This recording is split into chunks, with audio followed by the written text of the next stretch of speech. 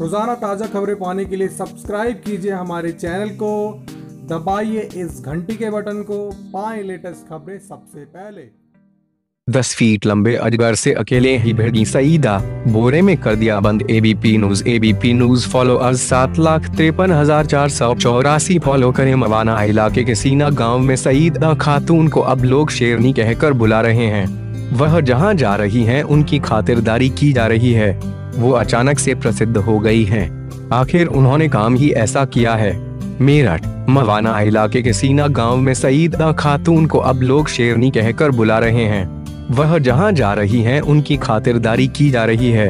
वो अचानक से प्रसिद्ध हो गई हैं। आखिर उन्होंने काम ही ऐसा किया है। वो अकेले दस फीट लंबे अजगर से भिड़ी और उसे एक बोरे में कैद कर दिया। इस पूरे वाक्य को लोगों ने अपने मोबाइलों में कैद कर लिया और अब तो आसपास के गाँव के लोग भी उन्हें सीना की शेरनी कह रहे हैं। दरअसल सईदा के खेतों में पिछले दो तीन महीनों से एक अजगर दिख रहा था। इस बारे में कई बार वन विभाग को बताया जा चुका था, लेकिन उन्होंने इसे गंभीरता से नहीं लिया। घर के बच्चे डर के मारे खेत पर नहीं जा रहे थे। इस घर से लगातार निकल रहे हैं सांप। मालिक ने किया चार सौ सांपों को मारने का दावा। दो दिन पहले सईदा को एक बार फिर से अजगर दिखाई दिया। फिर से वन विभाग को बताया गया और उनका इंतज़ार भी किया गया। लेकिन घंटों बीतने के बाद भी जब वन विभाग के लोग मौके पर नहीं पहुँचे तो सईदा ने खुद इस अजगर को पकड़ने का फैसला किया। उन्होंने इस अजगर को खींचना शुरू किया। इस काम में एक अन्य शख्स ने भी मदद की, लेकिन सईदा की बहादुरी देख रहे बच्चे हैरान थे। सईदा ने अजगर को बोरे में बंद कर दिया। बाद में पहुँची वन विभाग की टीम बोरे में बंद अजगर को अपने साथ ले गई। मवाना इलाके के सीना गाँव में सईदा खातून को अब लोग शेरनी कहकर बुला रहे हैं। वह जहाँ जा रही हैं, उनकी खातिरदारी की जा रही है। वो अचानक से प्रसिद्ध हो गई हैं। आखिर उन्होंने काम ही ऐसा किया है।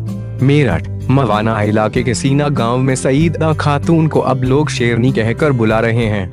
वह जहाँ जा रही हैं, उनकी खातिरदारी की जा रही है। वो अचानक से प्रसिद्ध हो गई हैं। आखिर उन्होंने काम ही ऐसा किया है। वो अकेले दस फीट लंबे अजगर से भिड़ी और उसे एक बोरे में कैद कर दिया। इस पूरे वाक्य को लोगों ने अपने मोबाइलों में कैद कर लिया और अब तो आसपास के गाँव के लोग भी उन्हें सीना की शेरनी कह रहे हैं। दरअसल सईदा के खेतों में पिछले दो तीन महीनों से एक अजगर दिख रहा था। इस बारे में कई बार वन विभाग को बताया जा चुका था, लेकिन उन्होंने इसे गंभीरता से नहीं लिया। घर के बच्चे डर के मारे खेत पर नहीं जा रहे थे। इस घर से लगातार निकल रहे हैं सांप। मालिक ने किया चार सौ सांपों को मारने का दावा। दो दिन पहले सईदा को एक बार फिर से अजगर दिखाई दिया। फिर से वन विभाग को बताया गया और उनका इंतज़ार भी किया गया। लेकिन घंटों बीतने के बाद भी जब वन विभाग के लोग मौके पर नहीं पहुँचे तो सईदा ने खुद इस अजगर को पकड़ने का फैसला किया।